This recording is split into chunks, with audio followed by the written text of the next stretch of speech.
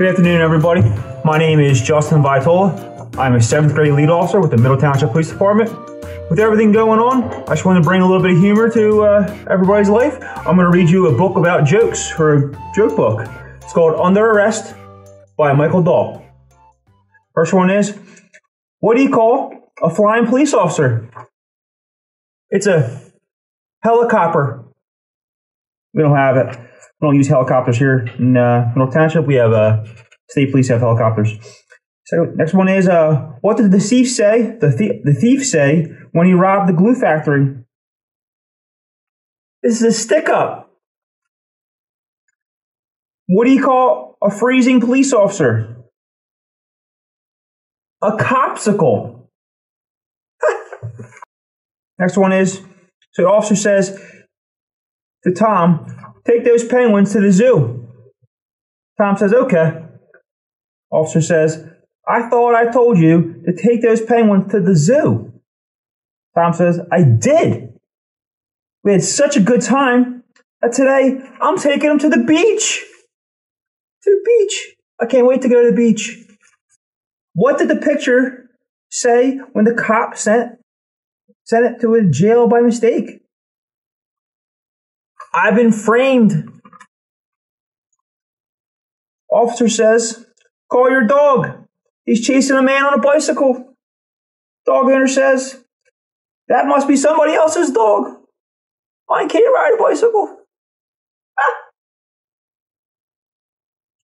What is a robber's favorite dinner? Takeout. Takeout.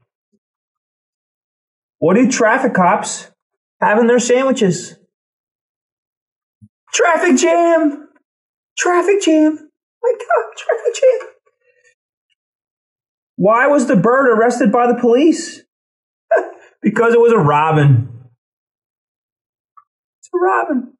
The best one of all. Why did the police look inside the cement mixer? Looking for hardened criminals. Why did the police officer arrest the kittens? Because of the kitty litter. Kitty litter is a bad problem. What kind of robber has the strongest arms? It's a shop lifter. His arms are huge. Huge. Why did the police officer arrest the, sus- the suspenders? Tongue twister. Because they held up a pair of pants. I just wear a belt, but suspenders work too. I just had my watch stolen right from under my nose. Police officer says, That's a funny place to wear your watch. There's news. Can't make this stuff up. And our last one. Why did the burglar take a shower? He wanted to make a clean getaway. Ha! Clean getaway. Not many people make a clean getaway. But so that's our book today, guys. All right. So that's it. So I just wanted to say at the end that you know we're all in this together. Everybody be safe. Remember, wash your hands.